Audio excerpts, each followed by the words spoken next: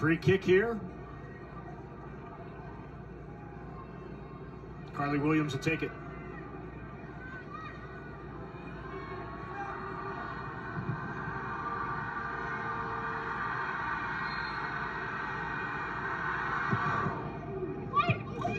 Oh, and it's in. One hop and Williams puts it in the back of the net. We'll have to watch this back, but I can't tell there's a deflection in there, and that's why everyone maybe went the other direction for a second. Oh, like it looked like it was wide, right? A little bit off that wall, hmm. maybe. Yeah. Snuck it right in there. Huh. You have a wall Yeah. like that in front of you, you gotta place that thing pretty well. Just inside the far post. Gretna has extended, Gretna East has extended its lead to four to nothing.